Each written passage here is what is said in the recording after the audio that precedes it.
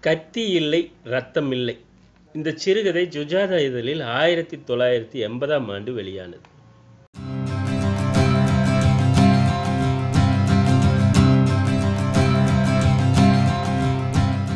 மழைக்கால காலை. மலர்களுக்கு வியர்த்திருந்தது. அவர்கள் காத்திருந்தார்கள். மடிப்பு மழுங்காத சட்டையுடன் அவர்கள் ஐம்பதுக்கு மேல் இருந்தார்கள். காலியான மொத்த போஸ்ட் அஞ்சு. சன்ன குரல்களில் இந்திய அரசியல் இந்திய சினிமா இந்திய பெண்களின் இடுப்பு பற்றி பேசி கொண்டிருந்தன. வெள்ளை பியூன் வெளியே வந்து எஸ். ராமன் என்றான். புது பாலிசுடன் சூ டக் டக்க ராமன் செல்ல அடுத்து லட்சுமணன் தயாரானான். எதிர்கால கனவுகளோடு ஏக்கம் நிறைந்த நெஞ்சோடு மரங்களில் மைனாவை ரசித்து கொண்டு தங்கள் பெயர் அழைக்கப்பட அவர்கள் காத்திருந்தார்கள். கணேஷ் காத்திருந்தான். அவரின் வரவுக்காக கதவுகள் திறந்திருந்தன. தூரத்தில் அவர் தபால் மனிதர் வர இவன் விழிகளில் விரைவாய் ஒரு வெளிச்சம். வந்தார் தந்தார் பார்த்தான்.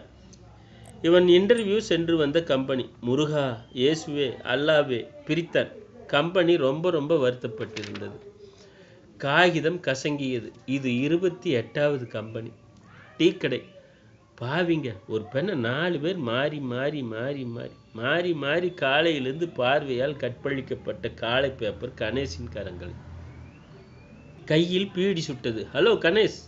விஜயன் வந்தான். விசாலமான உடல். வா விஜி உட்கார். உட்கார்ந்தான் விஜயன். எனக்கு வருத்த காடு. உனக்கு? அதே தான் இல்லைன்னா ஏன் நின்று பீடி குடிக்கிறேன்? கணேஷ் ஃபண்டமெண்டலாக எங்கேயோ தப்பு இருக்குது எங்கே? சேட்டிலைட்டு கிட்ட சொல்லி அனுப்பு. ஆகாசத்தில் கேட்டு பதில் அனுப்பும் டீ சாப்பிட்றியா? வேண்டாம். ஒரு விஷயம் கேள்விப்பட்டேன். என்ன? செலெக்ஷன் ஆன கேண்டிடேட்டில் ஒருத்தன் சேகர். அன்றைக்கி நம்ம இன்டர்வியூக்கு முன்னாடி டீஸ் பண்ணிக்கிட்டு இருந்தோமே ஒல்லியா கருப்பா மக்கா. ஆமாம் அவன் செலக்ட் ஆகியிருக்கானா ஜாயின் பண்ணிட்டேன். அவனோட அக்கா புருஷனோட சித்தப்பா பையனா? மேனேஜர் கணேஷ் கடுப்பானான். நரம்புகள் தெறிக்க கையில் இருந்த டீ கிளாஸை கடைவாசலில் போட்டிருந்த கருங்கல்லில் அடித்தான். டீ கிளாஸ் கிளாஸ்கள் ஆனது. கணேஷ் என்ன இது? நாயிர கோவிச்சுக்காதே. காசு தந்துடுறேன். விஜி என்னோட வா. இந்த அக்கிரமத்துக்கு ஒரு முடிவு வேணும். விஜி பதறினான். என்னடா பைத்தியக்கார நாட்டம்? நீ வா என்னோட என்று பையிலிருந்து இரண்டு ரூபாய் நாயரிடம் போட்டுவிட்டு விஜயனின் கையை பிடித்து இழுத்து கொண்டு நடந்தான் கணேஷ். டேய் டேய் கணேஷ் என்ன செய்ய போற? காது அவன் காதில் எதுவோ கிசு கிசுத்தான் இதுதான் என்னோட பிளான் வா என்றான். சேகர் கம்பெனியிலிருந்து வெளியே வந்து வாயில் சிகரெட்டை வைத்துக்கொண்டு தீப்பெட்டியை தேட லைட்டர் அவன் முன் தீ கக்கியது. நிமிர்ந்தான். ஹலோ என்றான் கணேஷ். குழப்பமாக பார்த்தான் சேகர்.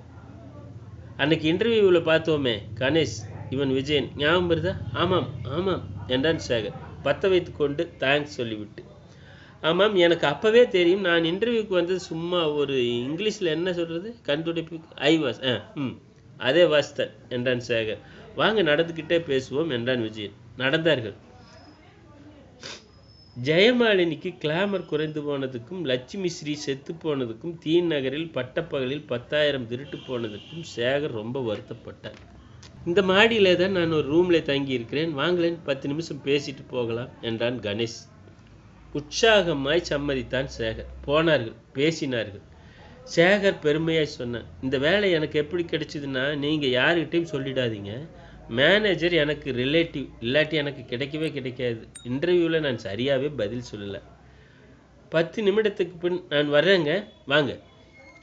சேகர் சென்ற பின் அதுவரை சுழன்று கொண்டிருந்த டேப் ரெக்கார்டரை ஆஃப் செய்தான் Ganesh. Air conditioned room air கண்டிஷனின் room மேஜையில் இரண்டு போன் சுழல் நாட்களில் தொந்தி மேனேஜர் விபூதிக்கு நடுவே குங்குமத்துக்கும் இடமளித்திருந்தார்.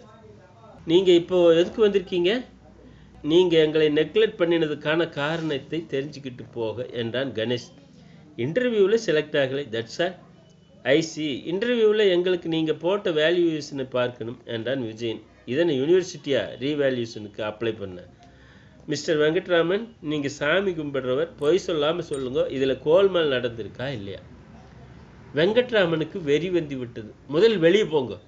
போகலைன்னா கம்பெனியோட செக்யூரிட்டி ஆட்களை கூப்பிட்டு கழுத்தை பிடிக்க தள்ளச் சொல்லுவேன். அப்புறம் போலீஸை கூப்பிட வேண்டி வரும். வெரி குட் முதல்ல சொன்ன ஆட்களை நீங்கள் கூப்பிடுங்க.